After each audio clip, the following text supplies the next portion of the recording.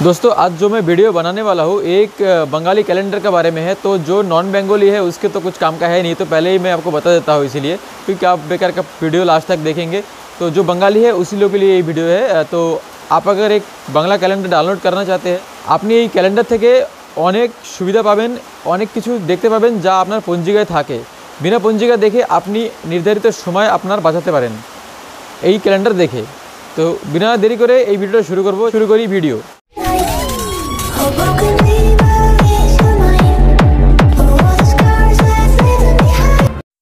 তো বন্ধুরা, আপনাদের যে ক্যালেন্ডারটা আজ আমি দেখাবো প্লে স্টোরে যেতে হবে। প্রথমে এখানে সার্চ করতে হবে Bong calendar Bong calendar search করলেই আপনাদের সামনে যে বাংলা ক্যালেন্ডারটা আমি বলছিলাম, যেটার কথা, সেটা আপনাদের সামনে এসে যাবে। তখন এটাকে ইনস্টল করতে হবে আপনার ফোনে।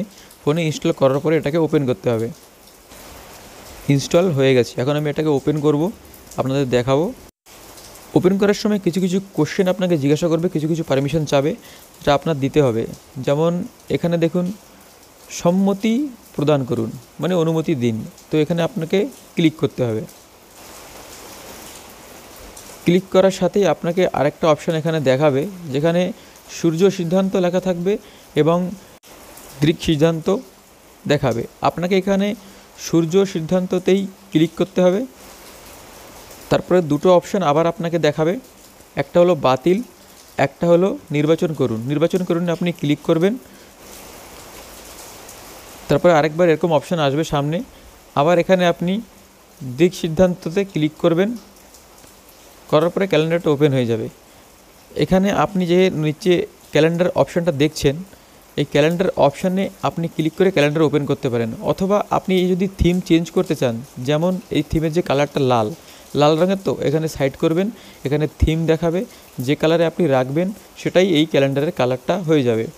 দেখুন এভাবে কালারটা চেঞ্জ হয়ে যাবে। এভাবে আপনি অন্য অন্য কালারও দিতে পারেন। এখানে যেমন দেখালাম, আবার এই থিম পরিবর্তনে যাবেন। থিম পরিবর্তনে যাওয়ার পরে আবার দেখবেন এখানে আরও কিছু কালার আছে, যেটা আপনার পছন্দ হয়, সেটাই আপনি রাখতে পারেন। দেখুন, এখানে আরও কালার আছে, যেমন এই কালারটা আমি চয়েস করলাম। এখানেও সুন্দর দেখাচ্ছে। তো এরকম আপনি আপনার মন পছন্দ মতন কালার রাখতে পারেন।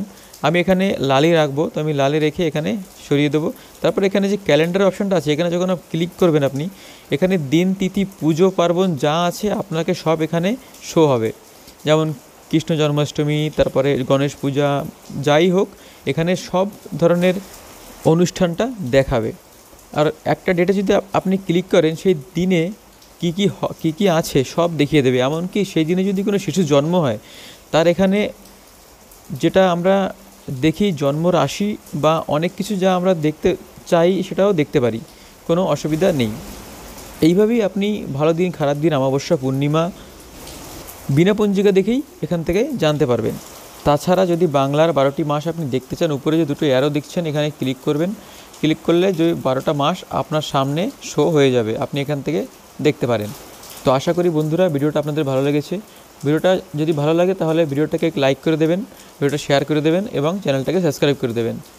ধন্যবাদ ভিডিওটা দেখার জন্য।